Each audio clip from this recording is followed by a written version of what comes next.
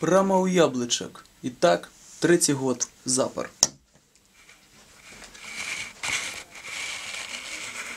Трэці год запар збіраў лепшыя працы беларускай рэкламы і камунікацыі фестываль аднак. Болей за 300 працаў і болей за 100 удзельнікаў.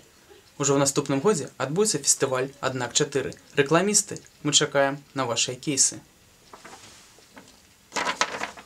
Тут магла быць ваша беларускамоўная рэклама.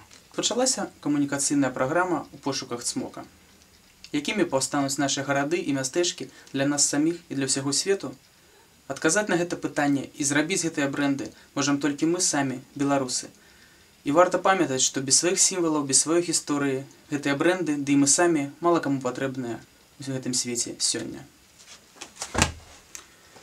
І няблага распачалася лепшы баскетбольны клуб ужо назваўся БК Цмокі Мінск. Спадзяемся, гэта толькі пачатак.